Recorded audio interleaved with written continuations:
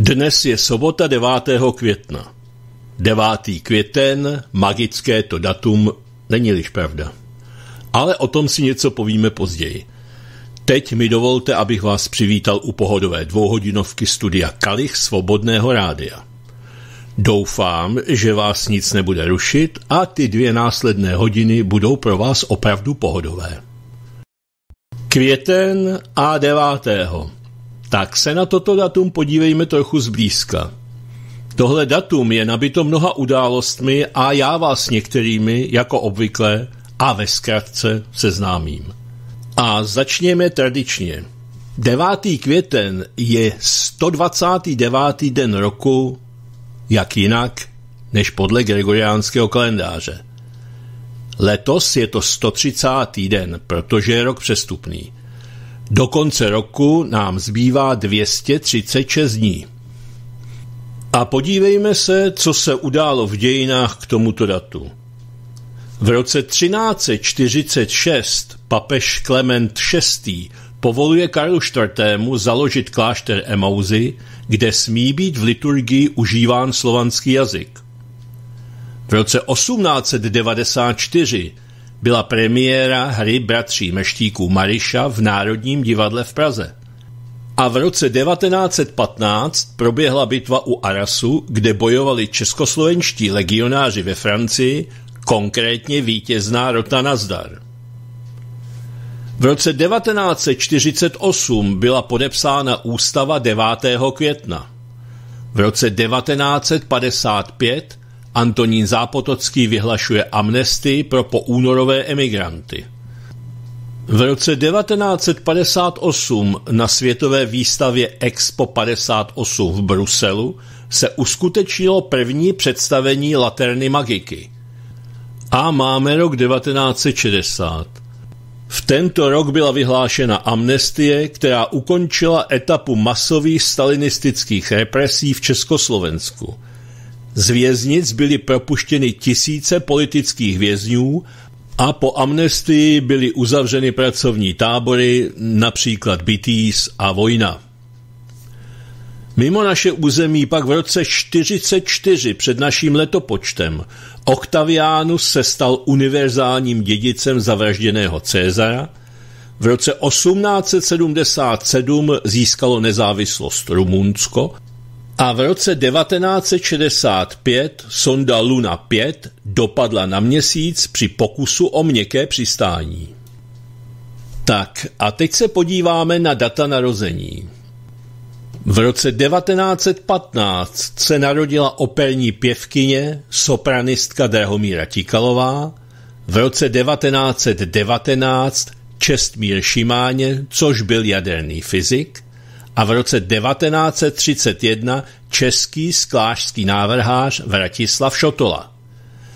V roce 1800 se narodil americký bojovník za osvobození Černochů John Brown, v roce 1837 zakladatel společnosti Opel Adam Opel a v roce 1924 ruský básník Bulat Okudžava. Teď jsou na řadě úmrtí. V roce 1945 zemřel český kreslíř, karikaturista František Bydlo. V roce 2009 politik a ekonom Věněk Šilhán a v roce 2010 bývalý ministr spravedlnosti a veřejný ochránce práv Otakar Motejl. V roce 1805 pak zemřel německý spisovatel Friedrich von Schiller, v roce 1978 premiér Itálie Aldo Moro a v roce 1986 zemřel nepálský šerpa Tenzing Norgay, který spolu s Edmundem Hillarym jako první člověk vystoupil na nejvyšší vrchol země Mount Everest. A teď je čas podívat se do Klementína. 9. května v Klementínu naměřili minimum v roce 1941 přesnou nulu. V roce 1834 pak bylo na teploměru 29 stupňů Celzia taky přesně, ale nad nulou. Denní průměr, který je sledovaný od roku 1961, pak činí 13,8 stupně Celsia. Samozřejmě nad nulou. No a podíváme se na pranostiky pro tento den. Na Mikuláše je již dostatek paše. Jiná pranostika říká Jiří s teplem, Mikuláš s teplem a pící. A další Jarní Mikuláš vyhání koně ze dvora, zimní je zahání do stáje. A ještě jedna Jiří s košem, Mikuláš s vozem. Jestli si někdo myslí, že jsem zapomněl na rok 1945, tak se mílí. Nejprve se tedy podíváme do Klementína, jaké že tam naměřili teploty. Takže tehdejší maximální teplota byla 21,5 stupně Celzia a minimální 8,6. Vzhledem k tomu, že srážky nebyly žádné, a je všeobecně známo a z dějin víme, že bylo krásně slunečno. A teď pojďme dál. 9.5.1945 byl v Berlíně podepsán dodatečný protokol o bezpodmínečné kapitulaci Německa. Tento den tankové jednotky Rudé armády vstoupily do Prahy. Téhož dne K.H. Frank opustil Prahu i s rodinou a se svítou nejbližších spolupracovníků směrem na západ do amerického zajetí.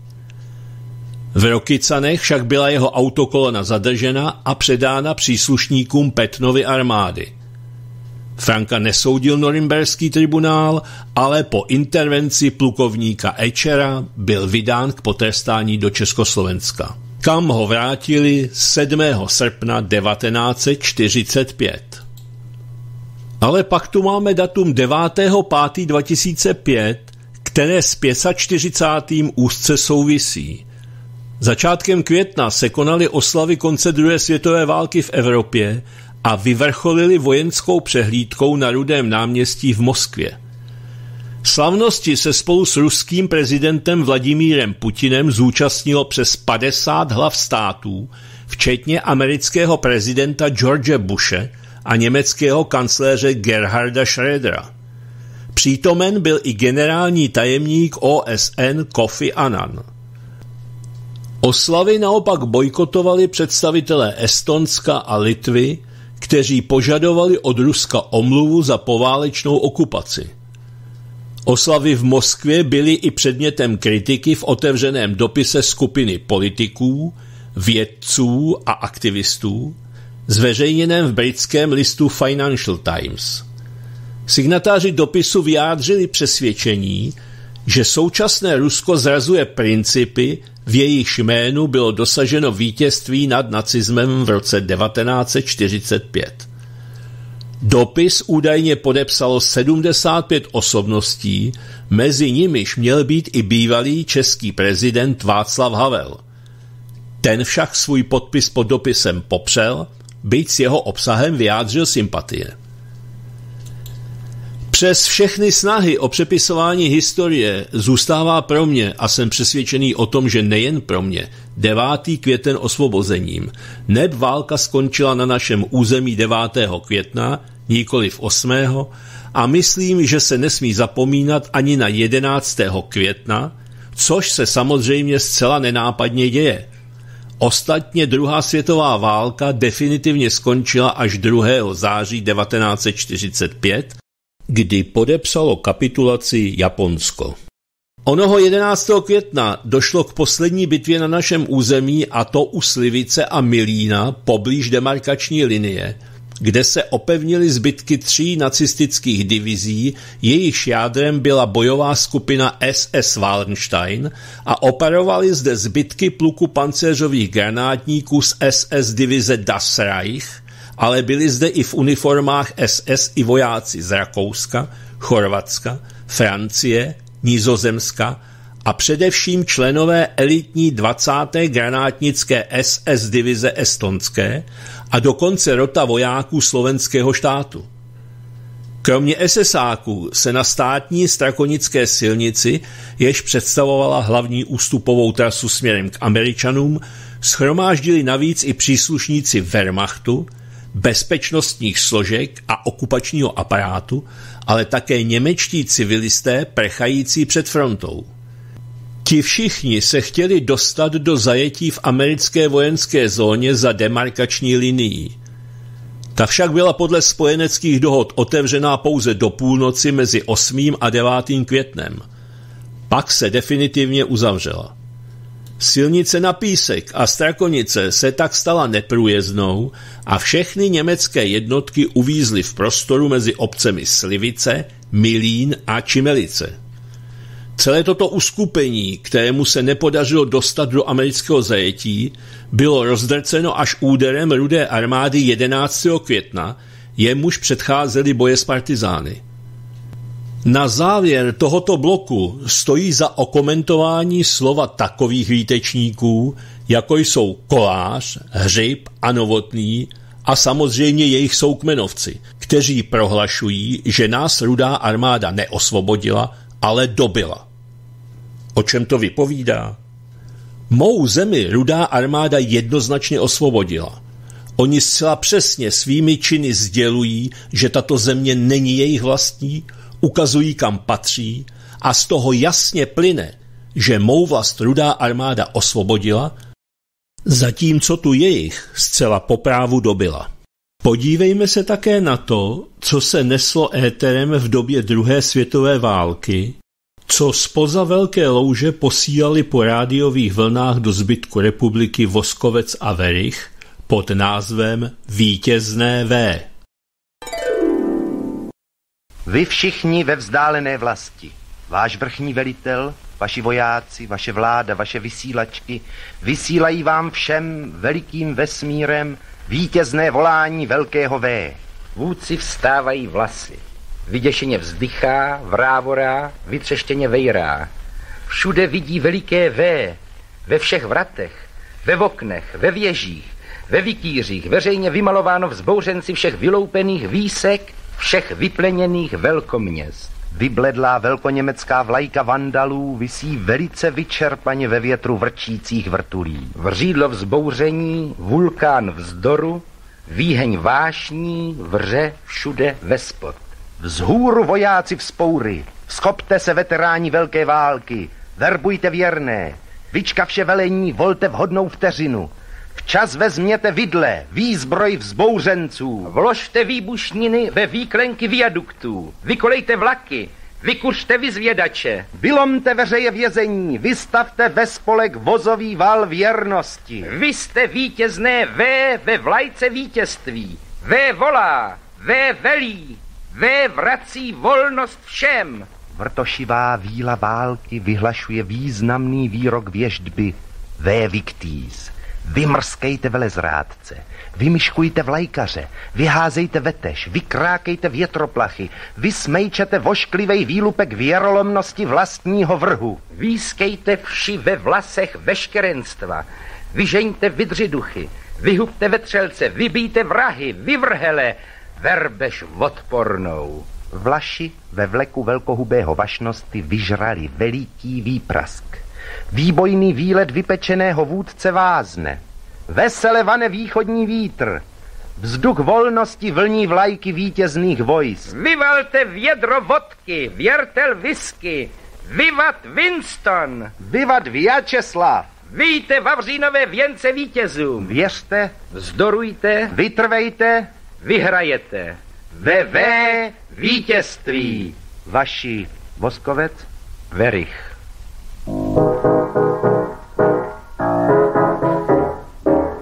Na vrata, na zdi, na věže, na komíny, napište V, veliké V. Na čela zrádců, na paměť jejich viny, napište V, veliké V. Veliké V je ve vítězství víra, veliké V je víra v nový svět. Vítr se točí, Hakenkreuz už umírá, věřte ve V, vítězné V, Věřte ve vítězný, svobodný svět. Vítězné ve svobodě život vrací. Vítězné ve volá, že vyhrajem. Vítězné ve znamená mír a práci. Věřte ve ve, vítězné ve, věřte ve ve a zatřesou se zrádci. Věřte ve ve a zatřese se zem. Vítězné ve vymete všechny náci. Vítězné ve volá, že vyhrajem.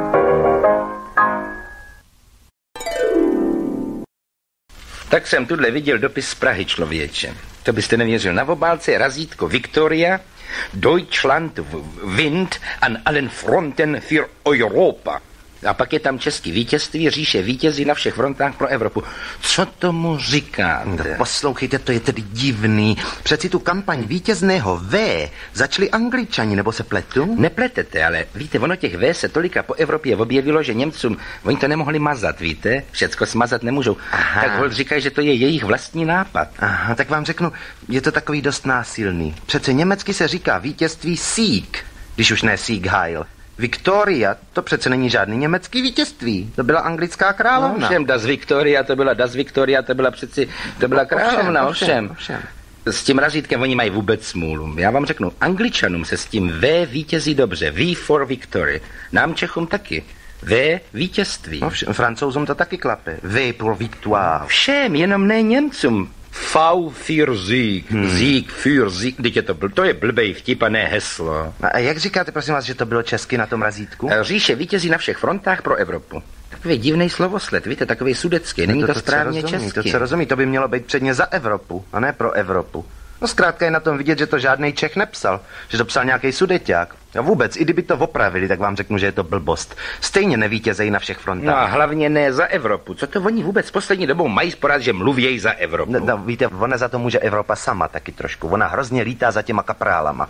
Tedy začalo to s Napoleonem přece. No ale to byl aspoň nějaký kaprál, ne? Potom přišel ten Mussolini. No a teďka ten třetí kaprál, dovolte.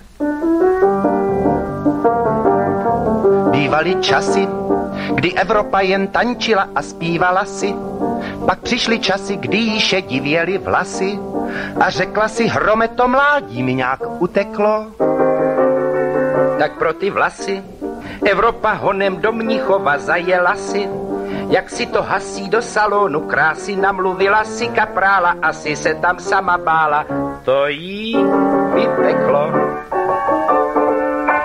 Ne snad, že by se jí ten jeho knírek líbil, ale on jí ten kaprál toho tolik slíbil, že chudák Evropa se namlsá při sladkém zpěvu Gebelsa a oslněna Érinkem, jenž podání byl Gerinkem se vzdala a vzdala se ještě než si kaprála vzala. Při prvním polipku se jí však kaprál hnusí, ty štukatérský fousky a ty oči husí. Denně poslouchat musí znova zase jeho názory o rase, do všeho se jí teď plete. Všechno vybral ze šuplete v kase, i schlívka jí ukrad to vykrmený prase. Zoufalé křeči, Evropa brečí, kaprál je s nožem, na prsou klečí. Ještě dřív, než se kaprál nad Evropu skloní, už je tu strejček z Ameriky jak na koni. Bratranec Winston letí z Anglie a strejček Pepa z Ázie a jak do jedovatý zmije. Každý z nich teď do kaprála bije. Tohle to ani šikl Gruber nepřežije. A vdova Evropa se ještě štěstí dožije.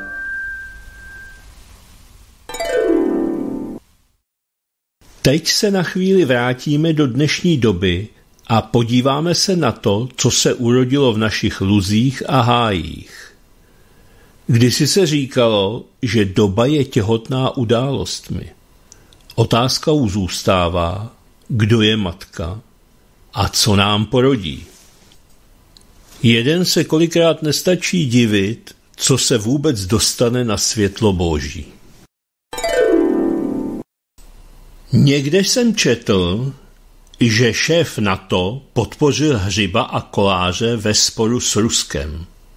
Jakže se ten Jens Jo Stoltenberg se jmenuje tohle norské pako. Pravděpodobně je to odchovanec Barnevernetu, který se postavil za pražského primátora Hřiba a další starosty Koláře a Novotného. To jsou ti hrdinové, co tak udatně kritizují Rusko, až jim z toho musí být přidělena policejní ochrana. I když, i když dneska už ví každé malé dítě, že je to jedna velká šaškárna. No a tenhle Jens v rozhovoru pro českou televizi uvedl, že na to důrazně odmítá jakékoliv podobné zastrašování. Jojo, Stoltenberg, to je ten, co schvaloval tureckou invazi do Sýrie, že? Velký kamarád Erdogana. To bude jistě velice čestný člověk. Je to ten, co velí jakési struktuře, která hrdině po mnoho let bojovala proti islámskému státu, až se tam náhle objevili rusové a za pár měsíců byl klid. To člověk hned chápe, proč tahle individua poštěkávají ze svého dvorku od boudičky jako malí ratlíci, když jsou podělaní strachy. A navíc je hned jasné, kdo těm hňupům ve vedení Prahy, všem těm pirátům, topákům a Prahám sobě, všem těm užitečným idiotům, kolaborantům a vlastizrádcům dělal loutkovodiče, že? Jen tak připodotknu, když jsem mluvil o Hřibovi, jestli pak tenhle tyglík moudrosti a vzdělání ví, kdo osvobodil jeho rodný Slavičín pár kilometrů od slovenských hranic. V noci z 1. na 2. května 1945 rudá armáda. Jen si představte, kdyby tam ta rudá armáda dorazila o den, dva později. Nebýt jí, tak by zřejmě jeho předci nebyli a tím pádem by nás nemohl oblažovat svými pitomostmi. Dostal jsem e-mail s videopřílohou. Na něm jakási Jolanka Jirásková pronáší hlubokomyslné myšlenky. Neznám jí. Nevím o ní pranic, dokonce jsem to jméno v životě neslyšel. Jestli patří k Pirátů také nevím, ale zjišťovat to nebudu, protože mi to nestojí za to už jen proto, že jsem nikdy nic tak slabomyslného neslyšel. Ale na druhou stranu to přesně zapadá do pirátského myšlení. Ale co bych vám povídal? Poslechněte si to sami. Obraz k tomu opravdu, ale opravdu nepotřebujete. Ahoj, já jsem vám jenom chtěla říct, že se mi teď strašně líbí ten nový nápad od Pirátů. Jak vymysleli, že by se mělo udělat referendum a mohl by se odvolat re- prezident v referendu. To si myslím, že je strašně fajn nápad. Ale já bych ten nápad trošku vylepšila.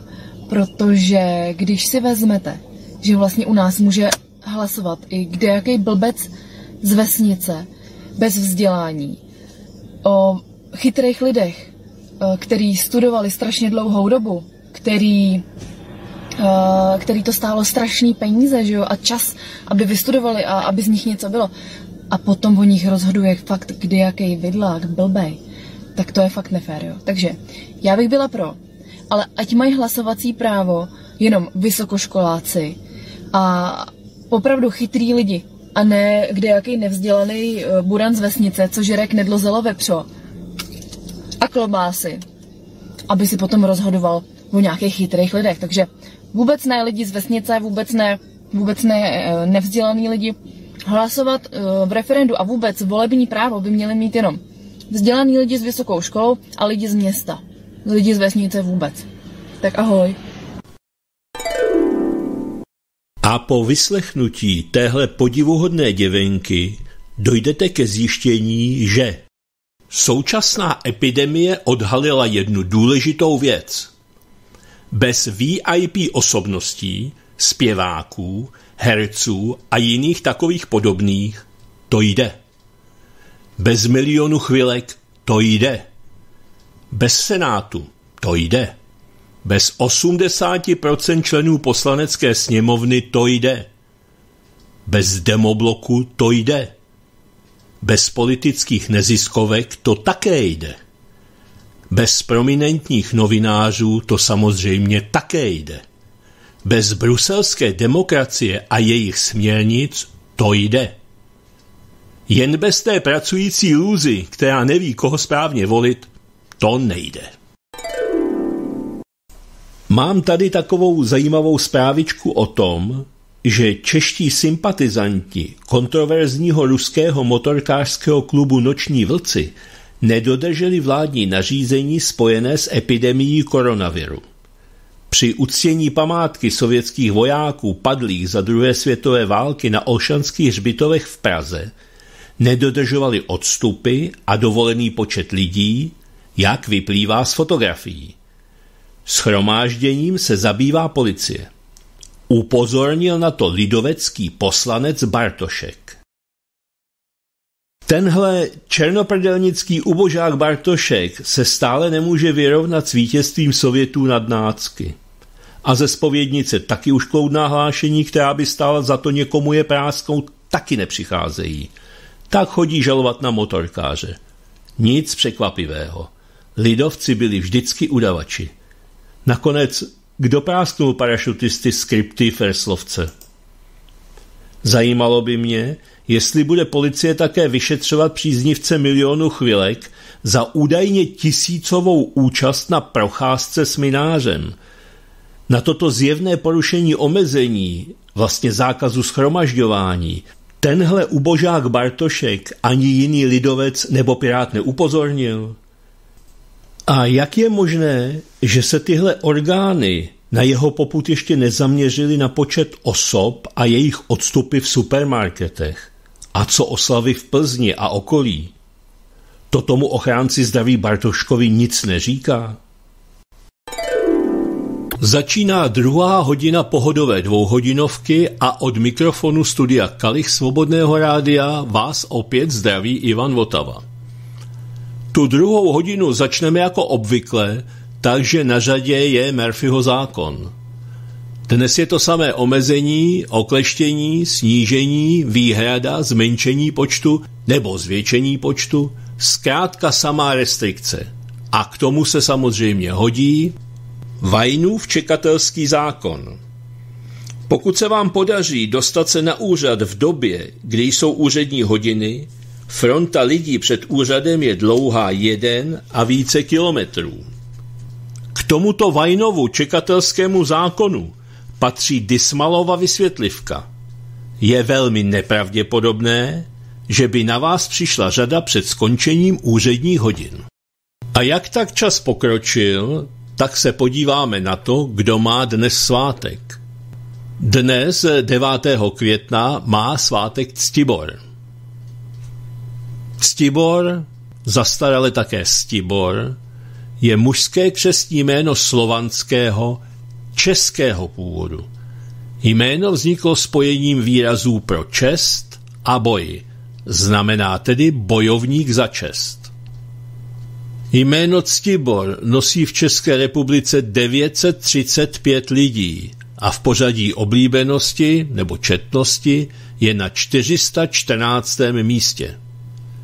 V tento den se taky slaví Den Evropy, říká se mu Šumanův den, a na Slovensku má svátek Roland. Dostal jsem do e-mailu odkaz na pět let starý článek, kterému se mi nechtělo moc věřit. Leč hledáním po internetu jsem si potvrdil, že mu věřit lze. Ten článek má název Bengálským hladomorům a milionům mrtvým se Churchill jen cynicky smál. Píše se v něm. Málo známá historie z imperiální éry Velké Británie skrývá temnou kapitolu, o které se ve většině učebnic dějepisu nepíše. Britové nechali opakovaně vyhladovět populaci Bengálska, což byla část jimi spravované Indie – Humanismus a ideje šly stranou, příčinou byla touha po zisku a pohrdání domorodým obyvatelstvem. Roky 1770, 1783, 1866, 1873, 1892, 1897 a 1944. Ve všech těchto letech umírali miliony obyvatel Bengálska v důsledku strašlivých hladomorů. Bengálsko je chudá země a hrozba hladomoru nad ní vysela velmi často. Před příchodem Britů ale vždy vláda dokázala zabránit nejhoršímu a do ohrožených oblastí poslat něco, co by se dnes dalo nazvat humanitární pomocí. Britové však měli jediný cíl – vybírat daně, těžit suroviny a sklízet úrodu. Zkrátka vytěžit zemi, která už tak měla velmi málo. Při prvním hladomoru v roce 1770 zemřelo 10 milionů lidí. To byla třetina populace Bengálska. Je to více, než kolik židů zabil Hitler za celou druhou světovou válku. O holokaustu se učí děti na základních školách, o bengálských hladomorech se nepíše nikde. Hladomor z roku 1770 byl horší než epidemie Černého moru, která postihla Evropu ve 14. století. Za vlády Mughalů byly daně 10 až 15% z úrody. Poté, co do země vstoupila východoindická společnost a uzavřela z Mughaly nevýhodné smlouvy, daně stouply na 50% z úrody. Daně sice vybíral mughalský vládce Šách Alam II., ale peníze a úrodu odevzdával východoindické společnosti, tedy Britům.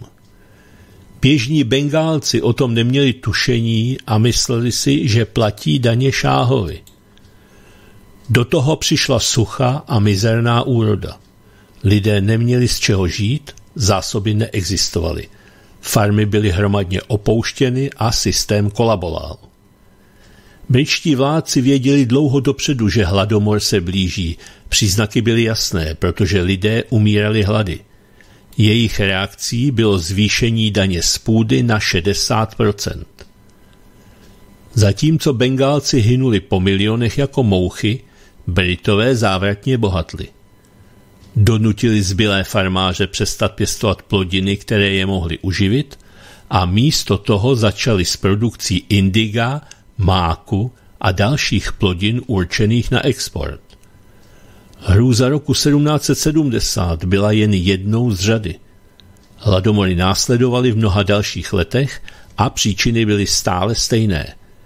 Britové vyčerpávali krajinu i lidi, zvyšovali daně na naprosto šílenou mes a pohrdali životy Bengálců.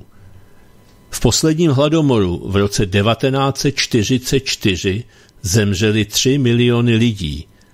Když se zeptali Winstona Churchilla na záležitosti hladovějící Indie, jeho odpověď byla tato.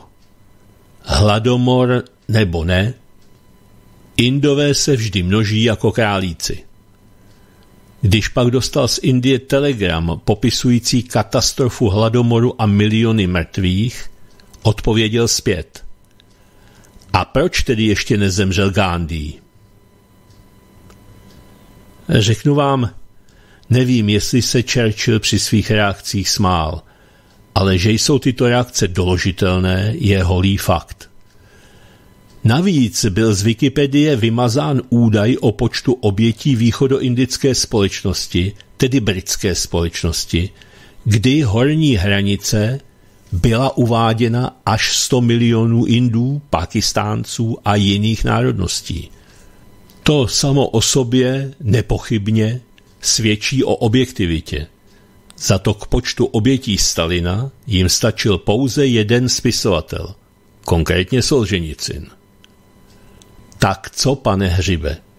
Zbouráme sochu Winstona Churchilla na stejnojmeném náměstí v Praze 3, přičemž toto náměstí také přejmenujeme?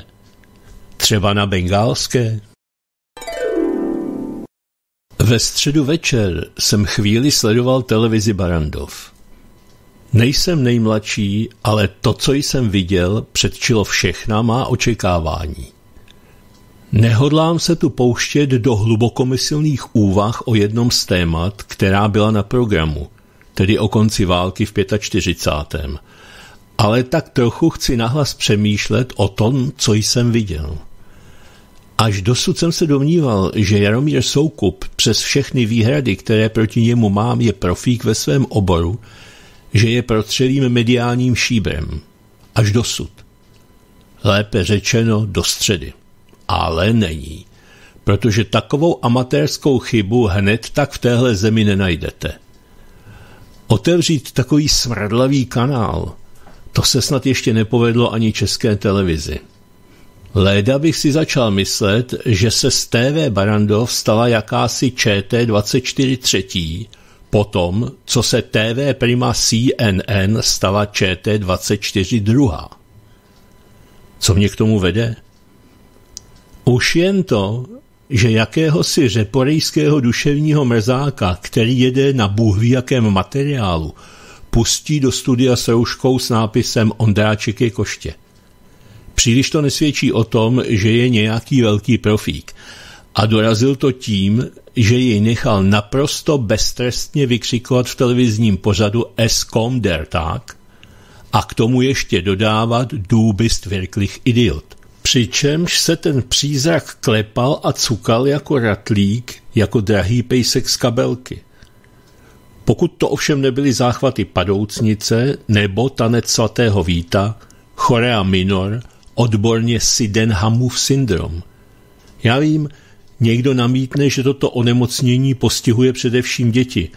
Ovšem tady je na místě si uvědomit, že tělíčko se vyšvihlo a rozoumek zůstal stát. Je docela zajímavé a překvapující, že tohle individuum tak snadno používá jako vsuvky pro své nesmrtelně nesrozumitelné, rychlopalné proslovy, kterým není rozumět i bez roušky, bonmoty z projevů architektů holokaustu Goebbelse a Eichmana. O čem to svědčí? Nějak toho soukupa nechápu. A nebo chápu moc dobře.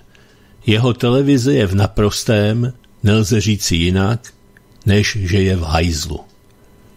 Ale zpět. Tohle té pochybné existenci projde? Opravdu? Pokud mu to projde, jak na to pohlížet? Může nad ním kdosi držet ochranou ruku. Ale pak je z jeho chování naprosto zřejmé, čí ta ruka je.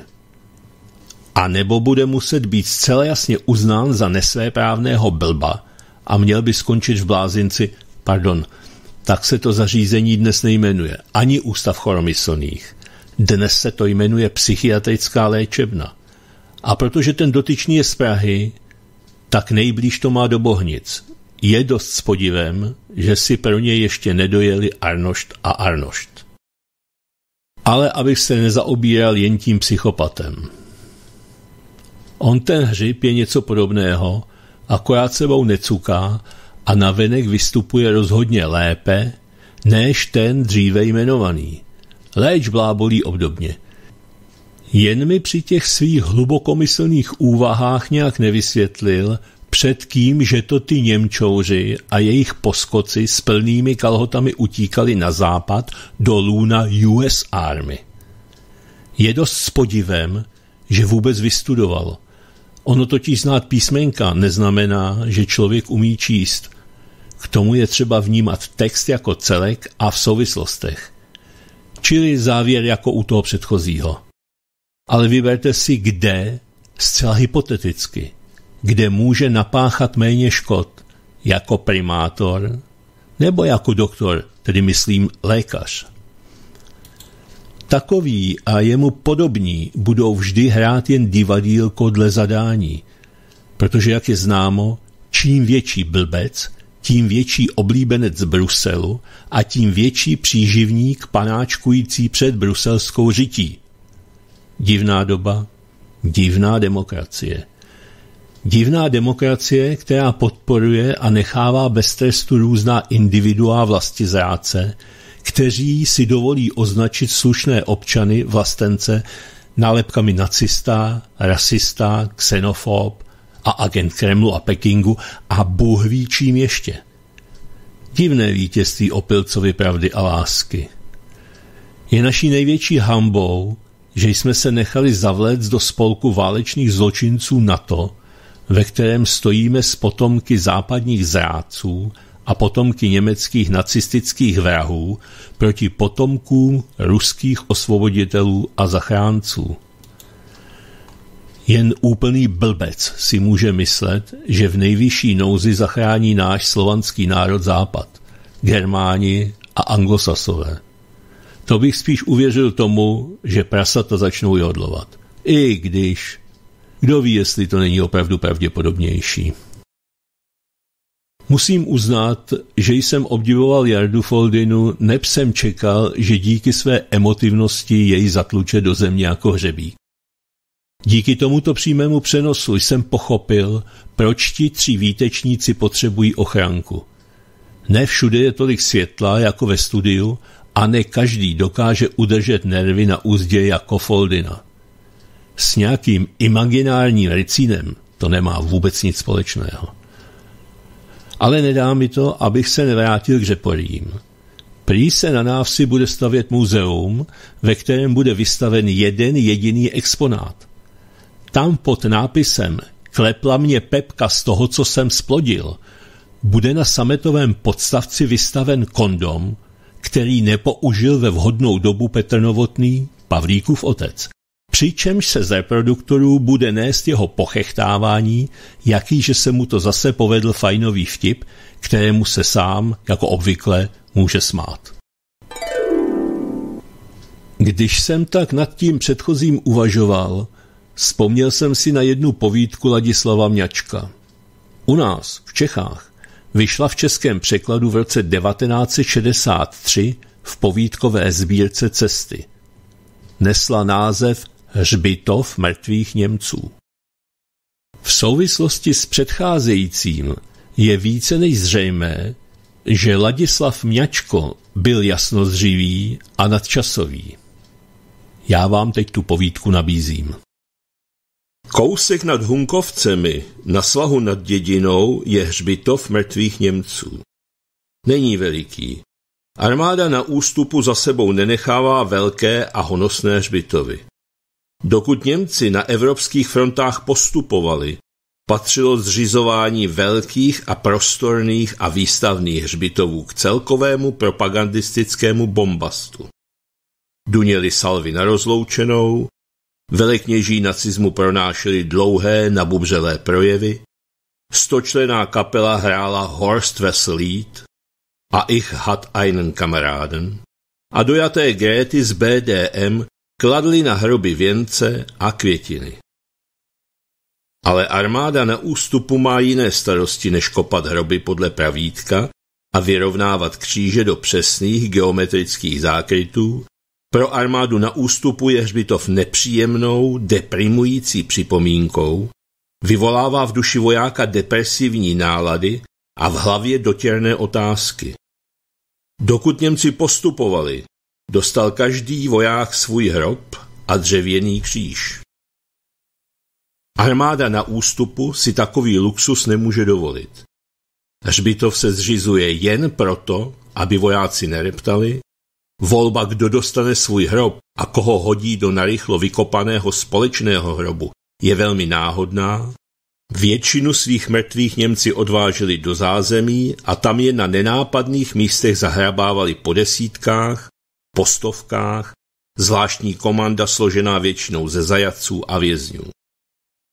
Dokud Němci postupovali, mluvilo se o každém padlém, že jeho oběť nebyla marná, že se na věky zapíše do dějin a že jeho smrt nepřítel draze zaplatí. Ale armádě na ústupu takové řeči znějí jako prázdné fráze a proto čím méně hrobů, tím lépe. Vojenské hřbitovy zřizovali také proto, aby si bojující příslušník Wehrmachtu nemyslel, že ztráty jsou příliš vysoké a situace příliš beznadějná. Tam nahoře nad Hunkovcemi je kolem sta německých hrobů. Je vůbec zázrak, že se zachovali, že lidé z vypálených vesnic nevytrhali ty dřevěné kříže, že lační potulní psy nevyhrabali mrtvoly. Tam nad Hunkovcemi je kolem sta hrobů a všechny jsou stejné. Pokud je neporušil, neohlodal zub času. Na šedlých křížích rozpukaných větrem, deštěm a sluncem vykonala léta své zhoubné dílo, lec který už schnil a spadl, jiný vyvrátila nebo naklonila lidská ruka, nápisy se jmény se už jen těžko dají přečíst. U jednoho hrobu jsem se překvapeně zastavil. Ležela na něm zvadlá kytička polních květů. Mohlo uplynout několik dní od chvíle, co jsem někdo položil. Příbuzný? Pravděpodobně příbuzný. Jsem na Duklu vozí čedok německé turisty, nevím, nevím, proč je vozí právě sem, nevím, proč právě Donovali jsou vybraným místem pro turistické zájezdy z Německa. Nevyznám se v organizaci německých válečných hřbitovů. Nevím, co říká německý polní řád o pochovávání mrtvých. Je o tom jistě celá velká kniha předpisů, paragrafů, nařízení, ustanovení a dodatků. Německá důkladnost se nemohla neprojevit ani v takové otázce, zejména když přihlédneme k jistým sklonům k mysticismu, které byly tolik pěstovány v německé říši. Jistě je paragraf, který mluví o vhodném výběru místa pro vojenský hřbitov, ale člověk nechápe, čím se ten svah nad Hunkovcemi vyznačuje, že právě tady Němci zřídili hřbitov. Někde ho ovšem zřídit museli. Ale proč důstojník, správce nebo snad velitel vojenských hřbitovů vybral právě tohle místo a ne okraj březového lesíka, vzdáleného takových 100 metrů zůstává záhadou, kterou už těžko někdo vysvětlí. A jak ty padlé pochovávali? Podle předpisu, pokud tu byl ještě čas, chuť a možnosti striktně dodržovat předpisy, důstojníky pochovávali v rakvích, pod důstojníky a mužstvo zabalili do celty, ale měli ještě dost cel? Nebylo škoda každé celty? A měli ještě rakve?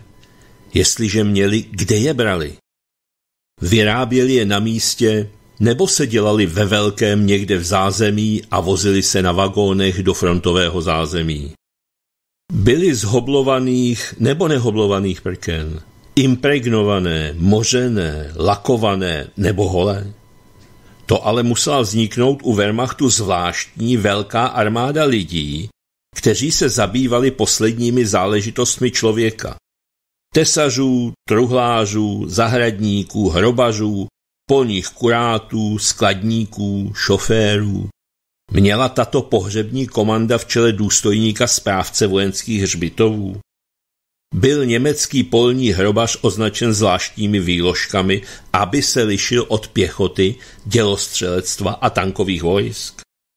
Vytvářely tyto smutné svazy samostatné pluky nebo dokonce divizy, nebo byly včleněny do bojových divizí a pluků. Ať je tomu jakkoliv, služba u hrobařských komand byla poměrně bezpečná a i když to může znít paradoxně, příjemná a záviděníhodná. Nejeden žoldák asi toužil dostat se k ním, Jistě tady protekce, štébrovství, kverulantství kvetlo jako málo kde jinde v německé armádě. Příslušníky hrobařských komand asi ostatní němečtí vojáci neměli ve velké lásce a pravděpodobně to nebyla přílišná čest bojovat na takovém úseku za vítězství velkoněmecké říše, ale na to oni pravděpodobně kašlali. U vojáků je to konečně pochopitelné, drželi se v útvarech komand zuby nechty, dokud byli u hrobařů, byla větší pravděpodobnost, že zítra budou ještě žít. Málo kdy se asi stalo, že zbloudilý šrapnel dopadl až tam, kde kopali čerstvé hroby. Ale co důstojník? Jaké ten měl postavení v německé armádě a jaké měl asi pocity? Jídal takový důstojník správce vojenských hřbitovů v důstojnické jídelně? Jak se na něho dívali? Jak ho mezi sebou přijímali ostatní oficíři? Jaké hodnosti mohl dosáhnout? Existovalo v německé armádě systematizované místo pro generála pohřební služby? Když se jim někdo stal, bylo to v německé armádě vyznamenání nebo deklasace? Mohl být velitel takových pohřebních komand vyznamenán válečným křížem nebo jenom záslužným křížem? řekněme železným křížem první nebo druhé třídy, nebo dokonce rytířským křížem s dubovými ratolestmi a meči. Za jakou kvotu pochovaných? Za sto tisíc? Za milion? A jaké měl naděje na rychlý postup, na povýšení v takové službě? O tom všem jistě byly velmi přesné předpisy a nařízení. Listoval jsem v mnoha německých časopisech, v několika ročnících německých novin, ale nikdy jsem se o tom nedočetl. Byly to pravděpodobně předpisy zvlášť přísně tajné, s vytištěným příkazem v případě rychlého ústupu bezpodmínečně spálit. Chodil jsem po Hunkovském hřbitově od hrobu ke hrobu, u každého jsem se zastavil. Navíc mě zaujaly kříže. Všechny stejné, na koncích ornamentálně zaoblené. Německá důkladnost se tu neprojevovala docela důsledně. Podle mě by německé kříže měly být zakončeny gotickými tvary. Velikost podle předpisu, tvar podle předpisu, na horním svislém rameni vypálený válečný kříž, pod ním jméno mrtvého, na vodorovných ramenech jméno mrtvého Němce, datum narození a den jeho smrti za vlast a Führera. Úprava, tvar, velikost a vzhled těchto dřevěných křížů byly v německé armádě také jednotné, určené přesným předpisem, vydaným pravděpodobně ve formě rozkazu nejvyššího velitelství. Jak této jednotnosti dosáhli? Vyráběla si je každá divize ve zvláštních týlových dílnách, nebo se vyráběly ve velkém potovárensku. Německá armáda měla ohromnou spotřebu těchto křížů, třeba že v žádné Führerově řeči ani v žádné Špérově zprávě o situaci v německém hospodářství se nemluvilo o tom, kolik lesů se na tuto výrobu spotřebovalo. Německá armáda zanechala na bojištích celé Evropy miliony takových křížů. Vznikl tak velkoprůmysl, továrny na frontové kříže. Člověka až zamrazí, když to domýšlí. Byl ředitel, mistr, vedoucí inženýr takové továrny vyreklamován z vojenské služby jako vojensky nebo hospodářsky nepostradatelná osobnost? Pro osazenstvo závodu platili reklamační předpisy prvního, druhého nebo dokonce třetího stupně. Spadali do stejné reklamační kategorie jako řekněme pracovníci ve zbrojním průmyslu nebo porurští horníci? Patřily tyto závody pod administrativní, správní a finanční kontrolu Wehrmachtu, nebo byly přidružené ke gigantickému koncernu Hermann Göring Werke? Měli zajištěný pravidelný přísun dřeva, nebo se ve výrobě také projevoval úzký profil? Byly takové továrny preferované nebo obcházené v kvótách přísných obhospodařovacích předpisů? A co zisk? Jak to bylo se ziskem? 20 nebo dokonce 50 feniků od kusu? Do jaké kategorie spadaly daňové úlevy? A stačila kapacita? Nemuseli narychlo budovat nové ohromné továrny? Přeorientovali na tuto výrobu několik závodů na výrobu nábytku nebo se v přípravách na přechod německého hospodářství z mírového na válečné už s nimi počítalo. Jak ty kříže dopravovali na místo určení? Vozili je v zaplombovaných vagónech pod stráží nebo jen tak nadspané na otevřené vagóny? Nějak je museli nakládat, nějak vykládat. To je také věc organizace. Nejedna zásilka schořila jistě při bombardování a nedošla tam, kde ji očekávali. Jak si v takovém případě vypomohla hrobařská komanda? Zahrabala mrtvé v poli do společného hrobu nebo čekala na náhradní zásilku? Ty, které došly, se museli někde skladovat. Jistě se o nich vedla přísná evidence. Ukládal je asi ve zvláštních kůlnách na sebe do dvoumetrové výšky, přišel důstojník pohřební čety, předložil objednací list na jistý počet křížů Objednávka měla jistě několik podpisů, někdy zněla na pět, jindy až na pětset křížů. Důstojník je převzal, zkontroloval jejich kvalitu, hrobaři je naložili na nákladní auta A když jich bylo jen několik, tak je nesli jen tak pod paždí. Skutečně mohli v takové továrně na válečné kříže pracovat cizinci nebo dokonce zajatci? Pravděpodobně pracovali. Jak jim asi bylo? Pracovali s chutí a hnali se do práce, snažili se ze všech sil překonat výrobní normy, dosáhnout rekordní číslo výroby. Kolik křížů připadalo na hlavu a směnu? Sto? Dvěstě? Nebo víc? A co majitel takové továrny? Zarizované továrny na nábytek nebo dokonce hračkářské továrny? Pravděpodobně zasloužilý člen NSDAP, starý bojovník s nízkým evidenčním stranickým číslem, vysoký funkcionář SA. Měl radost, když utěšeně přibývalo objednávek, když kapacita závodu nestačila krýt zrůstající poptávku, když sjednával a podpisoval s Wehrmachtem stále vyšší smlouvy, stále více křížů. Po polském, norském, dánském, holandském, belgickém, francouzském, jugoslávském, řeckém polním tažení to pro něho byla asi mimořádně velká věc. Pravá konjunktura začala až v červnu 1941 po vpádu do Sovětského svazu. To byly kšefty. A už nepřestali do konce války, snad ještě 5. snad ještě 8. května 1945 běžely hoblovačky v jeho závodě naplno. Skutečně, jak se v takové výrobě bilancovalo, plánovalo a kalkulovalo? S perspektivou jednoho, dvou, pěti nebo deseti let. Žel byly tu ztráty, chyby a nevyužité možnosti. Takový Stalingrad. Čtvrt milionu mrtvých. Ale kdo pak to mohl předem tušit?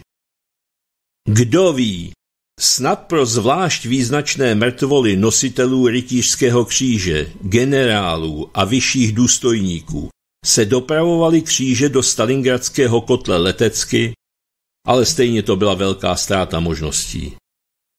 Na některých křížích na Hunkovském hřbitově se ještě dají přečíst jména. Gren, což znamená grenadír, Alfred Godhard, Gep 17.3.1896, Gef 8.10.1944. Starý člověk, téměř 50 letý, pěšák bez hodnosti. Pravděpodobně účastník první světové války, vždyť tehdy byl ještě mladý. Nebyl to pravděpodobně žádný chytrý voják. Asi neměl ani železný kříž. Ve dvou válkách to nedotáhl ani na svobodníka. Ale třeba dotáhl, třeba ho jen degradovali, kdo to může dneska ještě vědět? Kdo může ještě dnes vědět, až na pár lidí v Německu, čím kdysi býval pěšák Alfred Godhard? Odkud vůbec pocházel? To na kříži není. Byl ženatý? Pravděpodobně byl ženatý, snad měl i syna. Snad byl jeho syn důstojníkem Wehrmachtu, snad dokonce SS. Co když se setkal s nevojenským nemehlem, které bylo náhodou jeho otcem? Styděl se za něj? Vyčítal svému otci, když se setkali doma na dovolené v trochu lepších dobách, než byl rok 1944, že není Němec, jak se patří? Neměl z toho syn určité pocity méněcenosti týkající se čistoty vlastní krve? Zabila 48-letého pěšáka Alfreda Godharda náhodná kulka nebo mistrný ostřelovač ukrytý na stromě někde za řekou? Dá se téměř s jistotou předpokládat, že ne. Křížů s vypáleným GEF 8.10.1944 je tu víc. V ten den asi nebyl klid, něco se stalo. Proto tu teď leží vedle únov Kurta Koziola, GEP 12.10.1923, GEF 8.10.1944. Čtyři dny mu chyběly do 21. narozenin. Snad, když ho to trefilo, právě přemýšlel, jak je oslaví. Takový únov nebyl jen tak kdo. A tento únov postupoval rychle v hodnostech, nemohl být na vojně déle než čtyři roky, Musel se tedy řádně točit, aby to dotáhl na unteroficíra, byl to asi pořádný sekáč. Takovému jistě nedělá velké starosti sehnat láhev pálenky, když má narozeniny. Pravděpodobně byl představeným starého Alfreda Gottharda, snad právě na něho křičel něco šťavnatě vojenského. A starý člověk stál před ním v pozoru jako usmrkanec a poslouchal jeho řmění a nadávky, kterých se už v životě asi tolik naposlouchal, že se ho vůbec nemohli dotknout. Snad právě v takové chvíli je to oba postihlo a s nimi mnohé jiné. Zastavil jsem se u dalšího hrobu s mrazivým jménem vypáleným do dřevěného kříže. Ogerfer Rudolf Buse, Gep 6.1.1913, Gef 12.10.1944. Jméno ovšem nemusí nic znamenat, ale v této souvislosti je to jméno zvláštní, přiléhavé a zlověstné. Rudolf Buse, Rudolf Pokání. Jakoby člověk slyšel dávné hromování středověkého flagelantského kazatele. Tut Buse ihr armen Wärmer, Tut Buse ihr Verdammte. Snad také slyšel hřímavý hlas boha války, sovětské Kaťuše, když se otevíralo peklo a člověk velice toužil stát se malým červíčkem a zavrtat se co nejhlouběji do země. Snad tento muž v plném mužném věku, Rudolf Bůze, se krčil v narychlo vyházeném okopu, tvář tiskl do hlíny a modlil se o několik vteřin života, ještě o několik vteřin života navíc. A ještě o několik vteřin. Nad ním, před ním, za ním, kolem něho všechno skřípalo, sténalo, hřmělo, řvalo a kvílelo. Tut Buze ihr armen Wärmer, tut Buze ihr Verdammte. Snad právě v této chvíli, několik vteřin před smrtí šeptal, budu hodný, pane Bože, hodný budu, budu hodný. Snad. A možná, že to poslední, nač myslel, byla otázka, co vlastně hledám v této zemi? Co jsem tu ztratil? Co tady chci? Co jsi hledal v této zemi a v mnoha jiných zemích, Rudolfe Bůze? Kdo tě sem pozval? Co jsi tu ztratil? Co tu kdy bylo tvé? Ať si se narodil kdekoliv, bylo to jistě tisíce kilometrů odtud. Načta daleká a ještě delší cesta. Kde jsi na ní vykročil? V Poríní? Ve Westfálsku? Kudy vedla? Přes Smolensk, Kijev, ke Stalingradu a zpátky sem do slovenských hor? Pamatuješ si německých žoldáků, jaké to bylo tehdy v Polsku? Tanky se hnaly a ty si kráčel s vykasanými rukávy do bitvy po zaprášených polských silnicích a nadával si, je to svrab, srabácká země. Potom si pil koněk, pravý, starý koněk v pravém starém městě koněku. A ten koněk měl na nálepce vytištěný nápis Nur für Angehörige der Wehrmacht. Z Paříže si ženě přivezl kožich, největší válečnou kořist, na jakou si se kdy zmohl. Nikdy předtím a nikdy potom si nic většího neukořistil. Na to byli jiní, plukovníci s naloženými kamiony, generálové s nadspanými vagóny a maršálové s celými vlaky. A víš vůbec, co se stalo s tím pařížským kožichem německý vojáků? Když si mrzl pod Moskvou, přišel k tvé ženě S.A. Rottenführer, jinak tvůj známý, hostinský znároží vaší ulice, a řekl jí, dej Volksgenosin něco teplého na zimní sbírku pro naše udatné vojáky v Rusku. Dala, ovšem, že dala, nejen proto, že ty zbyl u Moskvy dala ten kožich z Paříže. A víš, co se s ním pak stalo dál, německý vojáku? Žena S.A. Rottenfiera ho nosila do divadla, protože ten starý kožich po židech už vyšel z módy. Kde všude si byl, německý vojáku, třeba ty, Rudolfe Bůze. Na Balkáně si náhodou nebyl. Tam přestala být vojna legrace, tam začínala velkosmrt a už nepřestala. Najednou si zjistil, německý vojáku, že smrt je nestraná, že má všude své oblíbence. A co všechno si natropil ve světě německý vojáku. Vesnice si vypaloval, děti napichoval na bodáky, krávy si vyháněl z cizích dvorů, ženy si znásilňoval. Občas si prošel kolem německého hřbitova s kříži nastoupenými k slavnostnímu defilé a ani si ty mrtvé po vojensku nepozdravil. A když si viděl někde v ukrajinské stepy vykládat z vagónu dřevěné kříže, smál ses a vykládal kamarádům lehtivý vtip o pařížských ženách. Poseděl bych s tebou, Rudolfe Bůze, u sklenice piva. Kdyby se dalo. Mohli bychom si povídat. Navrhl bych takovou prima zábavu. Řekl bych ti, víš co, Němče, dej mi svůj dům, ženu a všechno, co je tvoje. Nebo tě vypálím, spopelním, umučím, udupu, zničím, oběsím, utopím, zastřelím ranou do týla, spálím plamenometem, rozsekám na cucky, roznesu na tankových pásech. Neodvažuj se ani pípnout a nepomýšlej na odpor, protože za každého, koho zastřelíš, zastřelím sto tvých, protože si prohrál válku.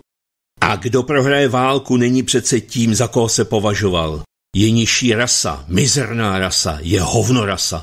Protože válku může přece vyhrát jen rasa čistá a schopná a jedinečná a prozřetelností k tomu předurčená. Rasa očištěná od židů, bolševiků a ostatních chamradě, od sentimentální humanity.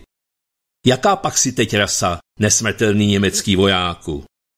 Říkají o tobě teď, že jsi se statečně byl, Rudolfe Bůze.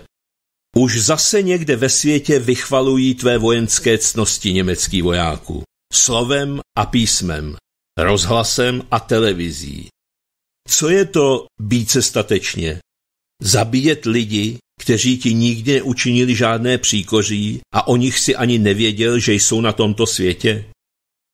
Jaká je v tomhle století hrdost pořádně se být? Představ si, že někdo jiný, kdo by také povýšil statečné válčení na ctnost a hlavní důkaz nesmrtelnosti a života schopnosti nějakého národa, by vtrhl do Německa a tak pořádně se tam byl, až by na světě nezůstal jediný Němec. Na něco takového má snad každý stejné právo jako ty.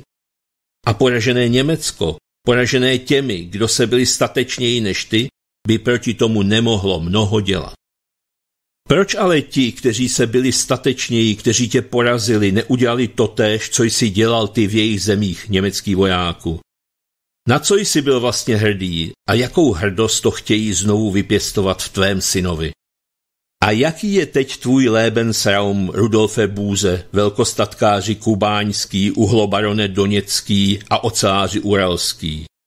Na Slovensku, v malé zemi, je tvůj dvoumetrový Lebensraum. V Hunkovcích. Hunkovce. Ani vyslevit se to německým jazykem pořádně nedá. Nikdy předtím si neměl tušení, že je na světě taková prašivá díra jako Hunkovce. No vidíš, Hunkovce na světě jsou a ty nejsi. A tvoji, jestli je nezničili bomby, snad ani nevědí, kde je tvůj nynější Lebensraum. Víš vůbec, komu si naposled už svou smrtí posloužil, kdo měl z tebe poslední užitek německý vojáku? Velkovýrobce dřevěných křížů. Jemu si přinesl poslední užitek. Vydělal na tobě snad 20 feniků, snad 50, což pak vím. Snad ještě žije. Snad rozšířil svůj podnik v poválečné době a možnostech na velkou akciovou společnost Kriegsbestattungskreuzfabrik GmbH. Ještě dnes jsou takoví, kteří by nejraději oseli vojenskými kříži každý hektar na země kouli. No vidíš, německý vojáku, a nečekej ode mě nějaké falešné gesto, nějaké odpustme si, co jsme si, a už se na tebe nehněvám. Takovými gesty se častovali lidé po první světové válce v nerealistické naději, že podobná svinstva se už víc nebudou opakovat. Ale neuplynulo 20 let a začal si mašírovat znovu německý vojáku. Nemáš čím omluvit ani svůj vojenský život, ani to, že tu ležíš v mé zemi. Co pak vím, co všechno si natropil všude tam, kde duněl tvůj holínkový krok? Domníváš se, že smrt všechno zahladí, že ve smrti jsme si všichni rovni, že smrt je nejvyšší cena, jakou může člověk splatit svou vinu? Jak se chceš rovnat ve smrti těm, které si pobil? Jak chceš vysvětlit, že ležíš tak daleko od svého domu? Nám, kteří jsme zůstali naživu v zemích, v nichž si neměl co hledat, jste ty a tobě rovní zničili nejlepší léta našeho života. Co jsi hledal v mé pracovité míru milovné zemi, Němče s podivným jménem? Ale snad si nikoho nezabil, ani muže, ani dítě, ani ženu, i když něco takového může o sobě ve válce sotva kdo prohlásit. Kdo ví, snad si skutečně zabil. Co jsi potom německý vojáku, nevinná oběť? Koho? Domníváš se, že tváří v tvář hrůzám, které roznesli Němci po světě, ještě existuje něco takového jako nevinná oběť německého vojáka? Zabil si, nezabil, ležíš v mé zemi, už to je vina, která se nedá zaplatit. Není nevinné oběti německého vojáka. Nebylo takové v této válce. Věděl jsi to? Věděli jste to? Tím hůř, jestli jste nevěděli. Ne z nenávisti ti říkám německý vojáku s podivným jménem, že jsem rád, že jsi mrtvý a že ležíš právě tady. Kdybys žil ty, nežil bych já. A v tom je podstatný rozdíl, protože já jsem se nevydal loupit, vraždit a pálit do tvé vlasti, do tvého domu. Ty jsi přišel do mého. Tolik zemí si promašíroval Němče a právě tady se ti to muselo stát, několik měsíců před koncem války. Stálo to za to mašírovat, polikat prach evropských silnic, útočit, zabíjet, střílet, krčit se v hrozném strachu, brodit se v blátě, stálo to za ten kubík slovenské země a dřevěný kříž? Rozhlédl jsem se po tom divném hřbitově. Stály tam kříže ve vyrovnaných řadách, lec, které byly už vyvrácené, jiné pokřivené. A stále, stále jsem chtěl křičet. Co jste tu měli co hledat, Němci?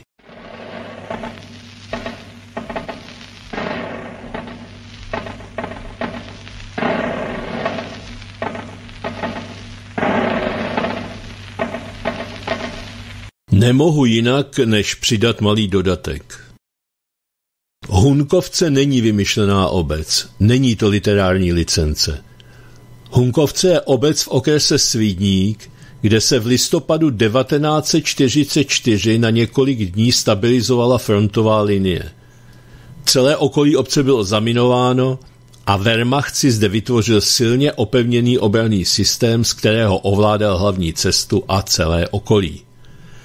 V blízkém týlu měl soustředěné početné zálohy a bojovou techniku, především tanky a dělostřelectvo. Během bojů byla většina obce zničena a v okolí se dodnes nacházejí zbytky okopů, krytů zemlianek a jam po výbuších granátů a bomb. Jižně od obce, vpravo od říčky Ladomirky, naproti benzínové pumpě je hřbitov, kde je pohřbeno 2918 vojáků nacistického Německa. Ano, to je ten hřbitov, o kterém psal Ladislav Mňačkov v povídce vydané v roce 1963.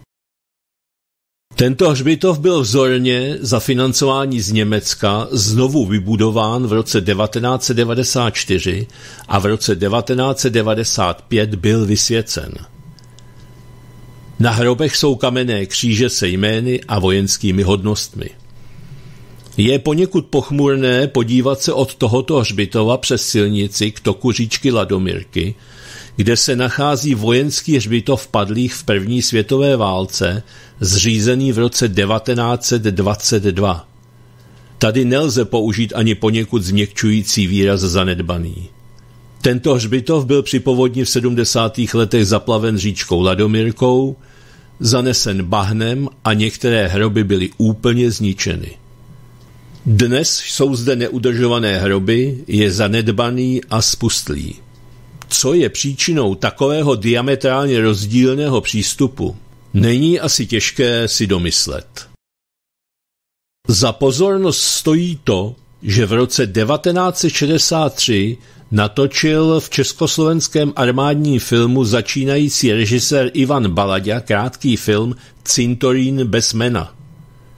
Je natočen podle povídky, kterou jste před chvílí slyšeli, s dokonalým monologem Vlada Millera, skvělou kamerou a v neposlední řadě s hudebním doprovodem, jehož základem bylo Dies Irae z Requiem Wolfganga Amadea Mozarta. Myslím, že by tento 22-minutový dokument měl každý shlédnout. Zejména pak mladá generace. Jak to tak bývá, vše má svůj konec. Končí tedy i dnešní dvouhodinovka, čímž to pádem se s vámi od mikrofonu studia Kalich Svobodného rádia loučí Ivan Votava. A příště zase nashledanou.